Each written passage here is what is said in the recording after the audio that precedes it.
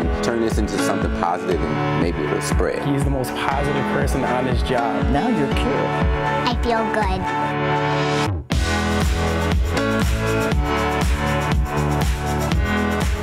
Good morning and welcome to Positively Milwaukee. Happy Valentine's Day. This, of course, is a day of love. And this morning we want to salute some local couples. Love is in the air on this Valentine's Day. On our Positively Milwaukee Facebook page, we invited local couples to share their love photos. And here's a look at some of the great pictures we got. We hope you're all enjoying this special day.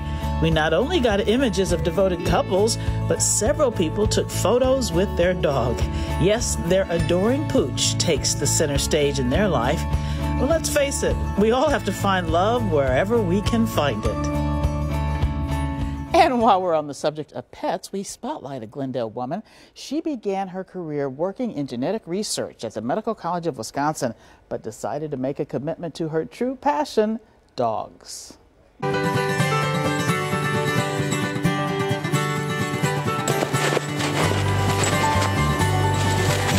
One trip to her Glendale home, it's clear Jessica Ginster is a dog lover.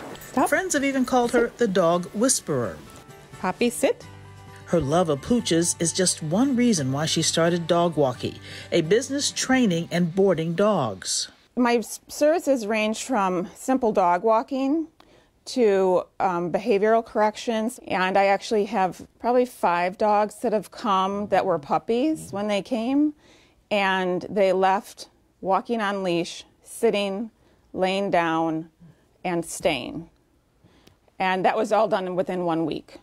Ginster says she's always had a special way with her four legged friends. the dog and I would make a connection. I would sit down on the sofa, it would come and sit by me, and then I would just wait a few moments to see if it would allow me to pet it, and then all of a sudden we're best friends. And they're like, "He's never done that before." So there's there's this innate um, energy within me that I think allows me to resonate with dogs. In fact, it was her astute realization of one dog's bark that alerted her that something was wrong recently. I noticed his bark was different because dogs bark differently for different reasons. He gave me two quick yips, and two quick yips is come here, there's something interesting. And I just said, What are you looking at? And I looked out the window and I said, Oh my gosh. Ginster saw a dog close to drowning in the Milwaukee River. Immediately, I just uh, went down on all fours and I crawled out on the ice. And then I had to lay myself, I had to like spread eagle to distribute my weight across the ice. And then I did the army crawl to the puppy, where when I started getting closer to the puppy, I locked eyes with it. And I just said, Hold on, hold on. Because it was at the point where it was just the nails were going to slip off. I got to the top of the, hill, got to my car, put him in the seat, cranked the heat, and he just hunkered down and just, you know, was like, I'm so thankful, I'm so cold, just get me home. Ginster majored in philosophy and biology, but now she's pursuing certification as an animal behavioral specialist. She shares this advice when it comes to teaching pups. It's going to require time. Just like children, it's easy to make children, but it's not easy to raise children. It's easy to buy a dog or to get a dog, but it's not easy to train a dog. Okay, And Jessica Ginster is in doggy heaven, knowing she can make a living doing what she loves. the satisfaction of empowering people to take control of their dog and strengthen that bond and that relationship so that it's not one based on fear, but one based on, okay, what can I do next to please you? It sparks a little something in me that's just like, oh, it's working, you know? Ah, you gotta love that. Now, Ginster even says dogs go through a phase much like teenagers where they rebel, but she says just stay the course and you will get through to them. If you'd like more information on Dog Walkie, just go to our Positively Milwaukee Facebook page. We have a link to her Facebook page. February is Heart Health Awareness Month, and a Wauwatosa woman has found a way to turn tragedy into helping fund cardiac research. Julia Fello tells us how it's helping scientists at the Medical College of Wisconsin. This all began when the founder lost her husband, Steve Cullen, to a heart attack just days after he ran the Milwaukee Marathon. More than 20 years later, her heartbreak is helping mend others after creating a fund to further heart research. Something came along that took his life away. And I think a lot of people, unfortunately, are experiencing the same thing with COVID. Which is why 100% of the money raised for their virtual run walk this year will be devoted to COVID heart related research. Scientists at the Medical College of Wisconsin are grateful. I don't know that I've ever been a part of something that's been so relevant and that might actually help a lot of the things that are, are long term looking at long term fixes. Through a $30,000 grant from this run, cardiovascular researcher Dr. Ze Zheng analyzed Froedtert Hospital data and found hospitalized COVID 19 patients with high cholesterol were two times more likely to die. More specifically, the triglyceride levels and also the cholesterol levels, causing the problems in the in the heart and also vascular system. Triglycerides are a type of fat found in your blood. For reasons Dr. Zheng does not know yet, COVID 19 patients with high triglycerides are developing blood clots faster, causing heart attacks. This is something that we don't normally see in other infections. We're kind of looking at why people maybe have a more severe outcome. It's exciting that there, if you can find a link, then you can try then start breaking it down. In order to figure out the why, more experiments need to happen, which means more funding is needed. We pay to get the samples in order to do the experiments. Um, so without it, we wouldn't be able to do it. Over 25 years, the Cullen Run has raised more than a half a million dollars to research like this. The hope is for more people to take part in this virtual run to be a small part in saving lives. Here's how to join in your rebound rundown. The Steve Cullen Healthy Heart Club Run Walk is taking place all month long. This Heart Health Month, you can complete either the two mile walk or 8K run anywhere you'd like. 100% of the money raised will go to the Medical College of Wisconsin's COVID heart related research. Julia Fello, TMJ4 News. And a great cause it is. Still ahead, a trailblazer in his field. How Milwaukee is honoring Wisconsin's first black architect see his children's pride. And as we go to a break, here's a bird's eye view of winter on Lake Michigan, brought to you by photojournalist Ryan Whitaker.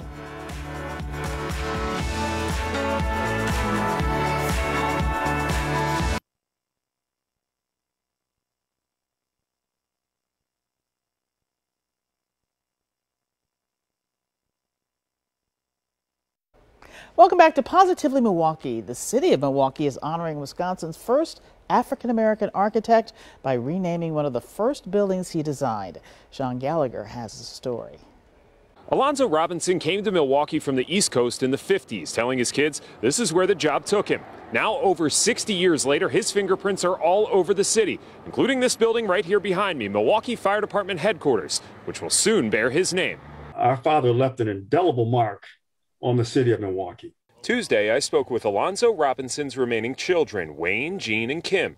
They say they are elated this building will now have their father's name on it. While he passed away over 20 years ago, they hope this will help more people understand the impact he had on Milwaukee. We have people right here in the city of Milwaukee who have done tremendous things. And it's, it's, due time now that those individuals here in Milwaukee are getting their recognition. His son Kim, a former city employee himself, still lives in Milwaukee. He showed me the original blueprints for the Milwaukee Fire Department building with his dad's signature on it from 60 years ago.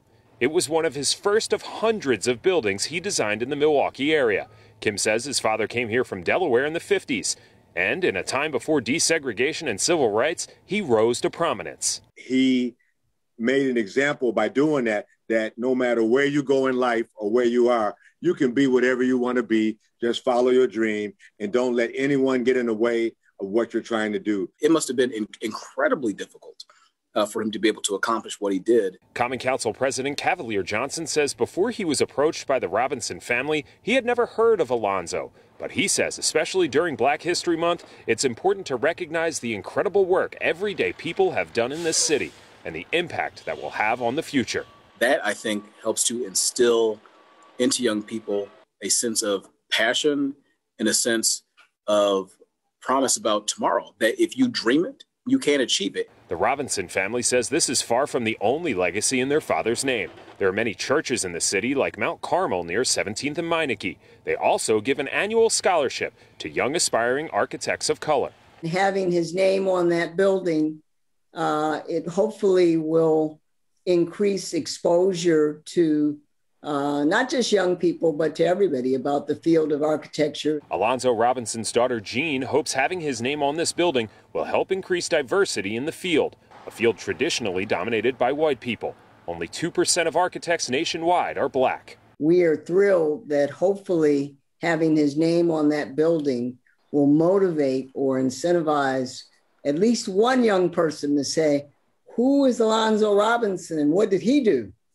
And hopefully, when the answer is he was an architect, uh, that will at least encourage those young persons of color to explore the field of architecture. No doubt it will. His kids all say all of Robinson's success would not be possible without his wife, Teresa. A remarkable contribution to Milwaukee's black history. Well, the cold weather is giving some animals a reason to smile. It may be cold out there, but we found some frosty felines who are not letting the snow slow them down. Check out these pictures. The tiger and snow leopard. They're just bouncing around in the snow at the Milwaukee County Zoo. They were having a good time, and uh, just watching them have their playful energy and be out there certainly warms our heart, and we certainly need it on these frigid days.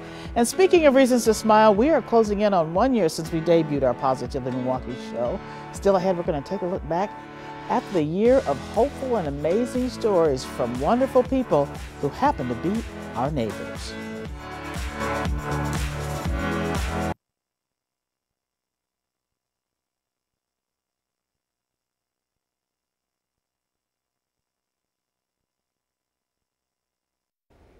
Welcome back to Positively Milwaukee. I really can't believe this show marks our one year anniversary.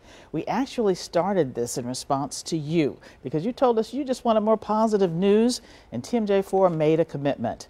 Right now, we're going to look back at some of the stories we captured in our first year of Positively Milwaukee.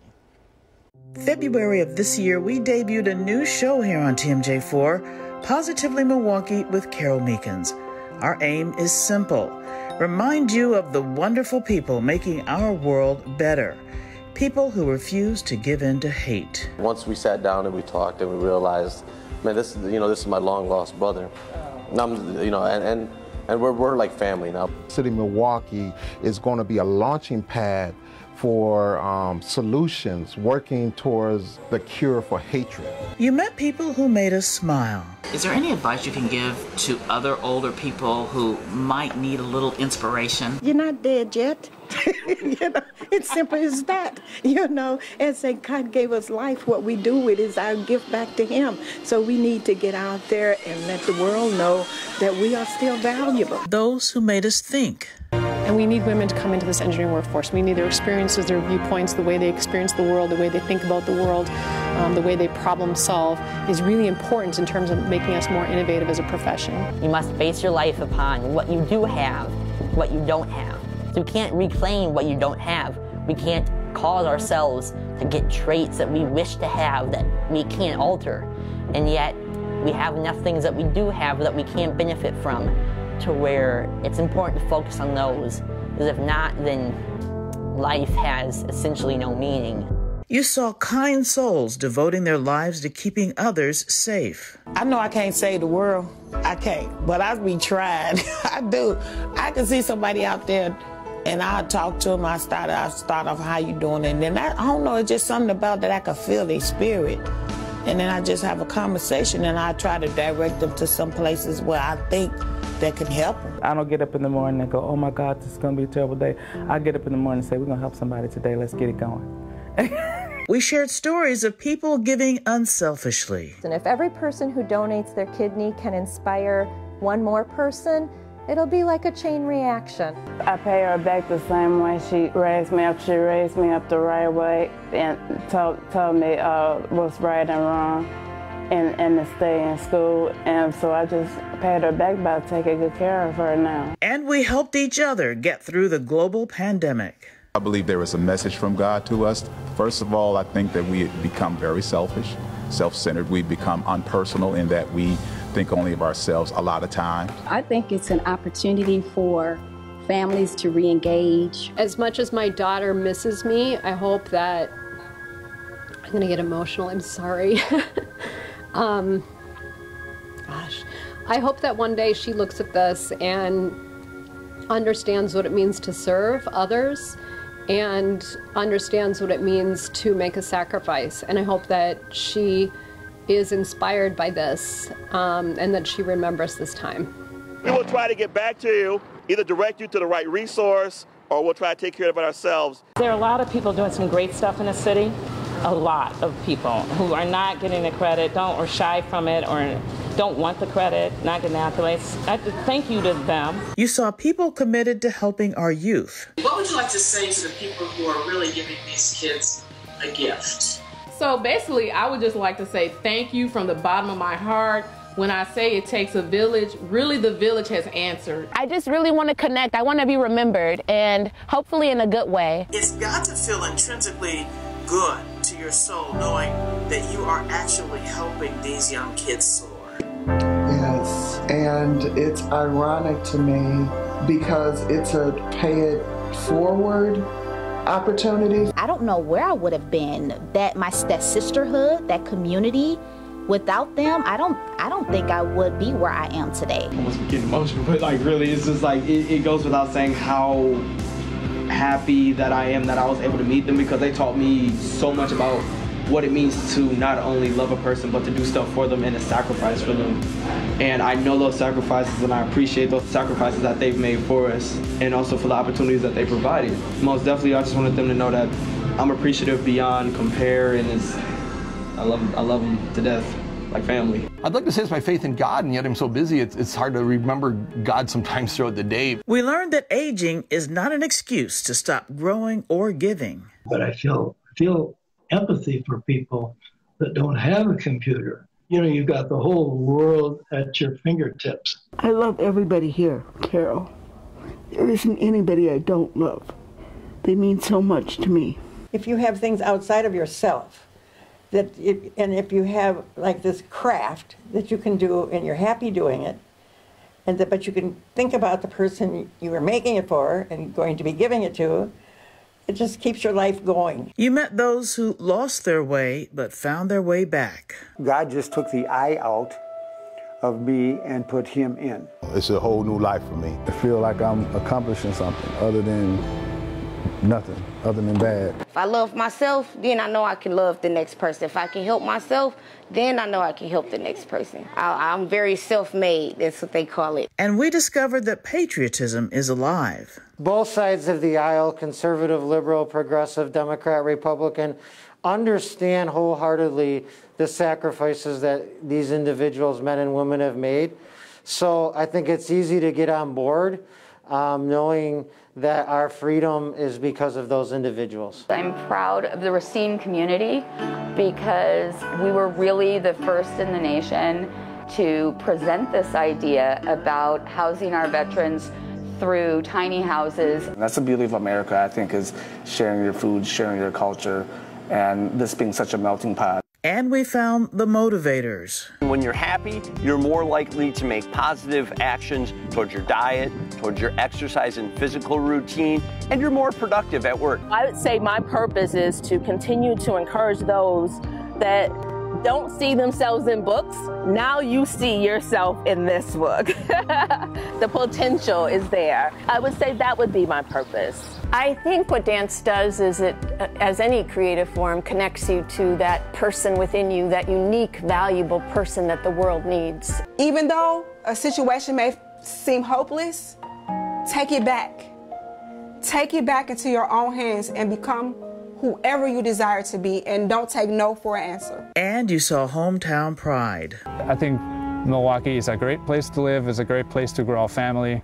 Uh, I was fortunate enough to be able to open a business here, uh, so it's embraced me and I embraced it. If you let yourself, there is it is such a rich experience living in Milwaukee, and you can really, really, really access so many different cultures and people and find the similarities. I wanted to do something that really highlighted Wisconsin in an interesting way. Um, and as you know, like we don't see Wisconsin on camera that often. It's just, it's not that typical. And to me, it's such a beautiful state full of such great people that I think it's nice to sort of show it you know, in, in, a cinematic way. And we saluted those with big hearts who gave freely during the pandemic. Oprah Winfrey granting Positively Milwaukee an exclusive interview when choosing Milwaukee as one of her cities for $100,000 in pandemic relief. I am reminded of my own mother who was, a, a, a, you know, striving to take care of three kids in the city of Milwaukee, and we were on welfare. And so my desire to reach out and help people who were like myself comes from the fact that that was myself. Our commitment to hopeful and positive stories will continue into 2021. So let's all rejoice in the spirit of generous souls and believers in humanity. The stories of goodness are out there. We promise to tell them. It's been an incredible year. We first aired that at the end of last year, so I'm so excited because we're going to share more great Positively Milwaukee stories with you. Tell us about yours. Email us at positivelymilwaukee at tmj4.com. We want to share those with the world. I'll be back with my quote of the week.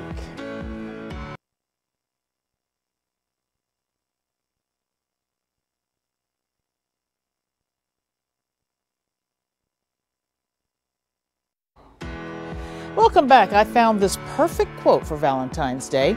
Now, this comes from French novelist George Sand. His words There is only one happiness in this life to love and be loved. And we love you, our viewers. We want to thank you for spending your Sunday morning with us. We leave you with another glimpse of Wisconsin's winter wonderland, courtesy of photojournalist Ryan Whitaker. Have a great week, everybody.